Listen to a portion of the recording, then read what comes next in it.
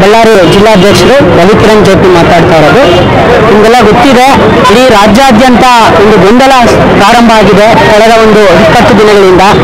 ಏನೋ ಪಠ್ಯ ಪುಸ್ತಕಗಳನ್ನ ಮರುಪರಿಷ್ಕರಣೆ ಏನು ಮಾಡ್ತಾ ಇದ್ದಾರೆ. ಇದರ ವಿರುದ್ಧ ಹಲವಾರು ಜನ ಏನು ಆಕ್ಷೇಪಗಳನ್ನ ಆಕ್ಷೇಪಣೆಗಳನ್ನ ಹೇಳ್ತಾ ಇದ್ದಾರೆ.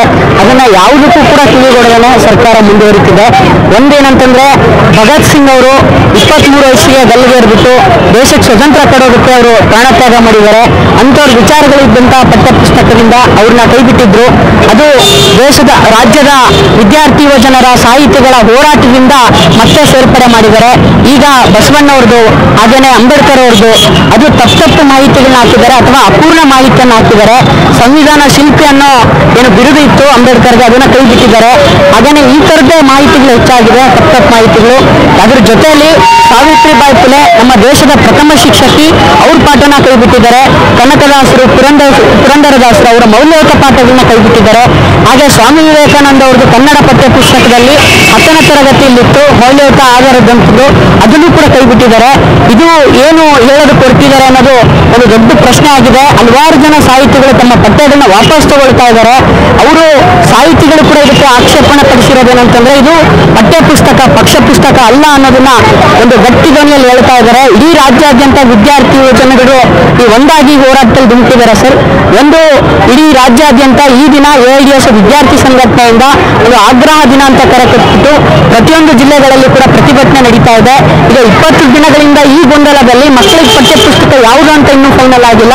ಹಾಗೆ ಹಲವಾರು ಜನ ಶಿಕ್ಷಕರು ನಾವು ಸ್ಕೂಲ್ಗಳಿಗೆ ಹೋದಾಗ ಹೇಳ್ತಾ ಇರೋದು ಇರೋದೇನಂತಂದ್ರೆ ನಮಗೆ ಪಠ್ಯ ಯಾವುದು ಅಂತ ಗೊತ್ತಾಗಿಲ್ಲ ಅಂದ್ರೆ ಮಕ್ಕಳಿಗೆ ಪಾಠ ಮಾಡೋಣ? ಎರಡು ವರ್ಷ ಆಯಿತು ಕೋವಿಡ್ ಇಂದ ಸಂಪೂರ್ಣವಾಗಿ ಶಿಕ್ಷಣ ಶಿಕ್ಷಣದಿಂದ ವಿಮುಖರಾದಂಥ ವಿದ್ಯಾರ್ಥಿಗಳು ಈಗ ಸ್ಕೂಲ್ಗಳಿಗೆ ಬಂದಿದ್ದಾರೆ. ಅವ್ರಿಗೆ ಪಾಠ ಮಾಡೋದಕ್ಕೆ ಯಾವ ಅಂತ ಗೊತ್ತಿಲ್ಲ ಅಂತಂದ್ರೆ ಏನ್ ಮಾಡಬೇಕು? ಮಕ್ಳು ಏನ್ ಕಲಿತಾರೆ ಅನ್ನೋ ಒಂದು ದೊಡ್ಡ ಗೊಂದಲ ಇದೆ, ಪ್ರಶ್ನೆ ಇದೆ.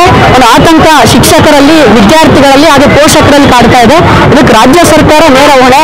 ಇಂಥ ಒಂದು ಎಲ್ಲ ಶಿಕ್ಷಣ ತಜ್ಞರಿರುವಂತ ಒಂದು ಸಮಿತಿ ಆಗ್ಬೇಕಿತ್ತು. ಒಂದು ದೊಡ್ಡ ದುರಂತ ಮಾಡಿದ್ದಾರೆ. ಈಗ ಈಗಲಾದ್ರೂ ಕೂಡ ಎಚ್ಚೆತ್ಕೊಂಡು ಈ ಕೂಡಲೇ ಪುಸ್ತಕ ಅಂದ್ರೆ ಬರಗೂರು ರಾಮಚಂದ್ರಪ್ಪ ಸರ್ ನೇತೃತ್ವದಲ್ಲಿ ಆಗಿದ್ದಂತ ಪಠ್ಯ ಪುಸ್ತಕ ಇದನ್ನ ಈ ಕೂಡಲೇ ಒದಗಿಸಬೇಕು ಈ ವರ್ಷದ ಮಟ್ಟಿಗೆ. ಅದ್ರ ಜೊತೆಯಲ್ಲಿ ಇವಾಗೇನು ಪಠ್ಯ ಪುಸ್ತಕ ಪರಿಷ್ಕರಣೆ ಮಾಡ್ತಿದ್ದಾರೆ ಅದು ಮುಂದಿನ ವರ್ಷದವರೆಗೂ ಟೈಮ್ ತಗೊಳ್ಳಿ. ಎಲ್ಲ ಆಕ್ಷೇಪಣೆಗಳನ್ನ ಅವ್ರು ಮುಕ್ತವಾಗಿ ಏನು ಆಹ್ವಾನ ಮಾಡ್ತಿದ್ದಾರೆ ಅದು ಮಾಡಿ, ಕಾರ್ಯ ಆಗಿ ಒಂದು ವರ್ಷದವರೆಗೂ ಟೈಮ್ ತಗೊಂಡು ಅವರು ಈ ವರ್ಷ ಈ ಹಳೆ ಪಠ್ಯ ಪುಸ್ತಕನ ಮುಂದುವರಿಸಬೇಕು. ಹಾಗೆ ಇನ್ನೊಂದು ಡಿಮ್ಯಾಂಡ್ ಇದೆ ಸರ್ ಸೆಕೆಂಡ್ ಪಿ ಯುಗೂ ಕೂಡ ಪರಿಷ್ಕರಣೆ ಮಾಡ್ತಿದ್ದಾರೆ ಅದನ್ನು ಕೂಡ ಈ ಕೂಡಲೇ ಕೈ ಬಿಡಬೇಕು ಅಂತ ನಾವು ಡಿಮ್ಯಾಂಡ್ ಮಾಡ್ತಾ ಇದ್ದೀವಿ ನಿಹಾರಿಕಾ ನಾನು ಪದವಿ ವಿದ್ಯಾರ್ಥಿ ಫಸ್ಟ್ ಇಯರ್ ಡಿಗ್ರಿ ಓದ್ತಾ ಇದ್ದೀನಿ. ಸರ್, ಇವಾಗ ಏನು ತಂದಿದ್ದಾರೆ ಈ ಪಠ್ಯಪುಸ್ತಕ ಪರಿಷ್ಕರಣೆ ಮಾಡ್ತಾ ಇದ್ದಾರೆ, ತುಂಬ ಬೇಜಾರಾಗುತ್ತೆ, ತುಂಬ ಆಕ್ರೋಶ ಬರುತ್ತೆ. ಏನು ಹೈಸ್ಕೂಲಲ್ಲೇ ಮಕ್ಕಳಿಗೆ ವಿಷ ಬೀಜ ಬಿತ್ತೋ ಥರ, ತಪ್ಪು ಇನ್ಫಾರ್ಮೇಷನ್ನು ಮಹಾನ್ ವ್ಯಕ್ತಿಗಳದ್ದು ವಿಚಾರಗಳು, ಅವ್ರು ಮಾಡಿರೋ ಸಾಧನೆಗಳು ನಮ್ಮಿಂದ ದೂರ ಇಡ್ತಾ ಇದ್ದಾರೆ. ಅರ್ಧ ಸತ್ಯ ಏನು ಟೆಕ್ಸ್ಟ್ ಬುಕ್ಕಲ್ಲೇ ಕೊಟ್ಟರೆ ಹೆಂಗೆ ಸರ್? ತುಂಬ ಬೇಜಾರಾಗುತ್ತೆ. ಮತ್ತೆಲ್ಲ ಕೆಲವೆಲ್ಲ ಹೆಣ್ಣು ಮಕ್ಕಳ ಬಗ್ಗೆ ರೆಸ್ಪೆಕ್ಟ್ ಇಲ್ಲದೆ ಇರ್ತಕ್ಕಂಥದ್ದು ಒಂದು ಕವನ. ಮತ್ತೆಲ್ಲ ಆರ್ ಎಸ್ ಎಸ್ ಸಂಸ್ಥಾಪಕರಂತೆ.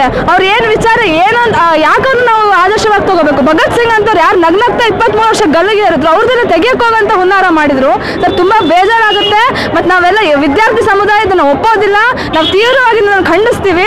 ನಮಗೆ ಉನ್ನತವಾದಂಥ ಮೌಲ್ಯಗಳು ಕೊಡಿ ಟೆಕ್ಸ್ಟ್ ಬುಕ್ಕಲ್ಲಿ ಹೊರತು ಈ ಥರ ನಿಮ್ಮ, ಎಲ್ಲ ರಾಜಕೀಯನ ಇದು ತುಂಬಿಸ್ಬೇಡಿ ಅಂತ ನಾವು ಆಗ್ರಹಿಸ್ತಿದ್ದೀವಿ ಸರ್.